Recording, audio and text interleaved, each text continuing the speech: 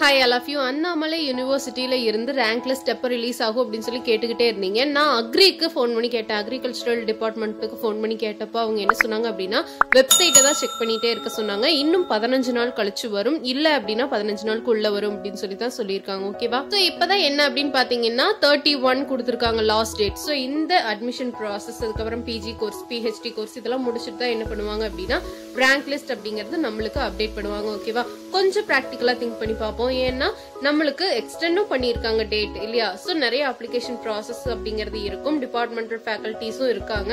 So work அப்படிங்கிறது போயிட்டே தான் இருக்கு. பதினஞ்சு நாளுக்குள்ள வரும் அப்படின்னு சொல்லி சொல்லியிருக்காங்க okay so no worry about that எல்லா யூனிவர்சிட்டிக்குமே தந்துட்டாங்க. நம்ம யூனிவர்சிட்டிக்கு மட்டும் தரல அப்படின்னா கூட நீங்க வந்து ரொம்ப வருத்தப்படுறதுல நியாயம் இருக்கு.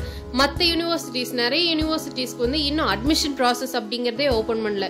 ஸோ இவங்க என்ன பண்ணியிருக்காங்க அப்படின்னா இன்னும் ரேங்க் லிஸ்ட் அப்படிங்கறத இன்னுமே அப்டேட் பண்ணல. அதுவுமே பதினஞ்சு நாள் கழிச்சோ இல்ல உள்ள. வித்தின் பிப்டீன் டேஸ்க்குள்ள கூட வரதுக்கான வாய்ப்பு அதிகமா இருக்கு. ஓகேவா so no sad relax smile ஓகேவா all the best all of you share your knowledge as much as you can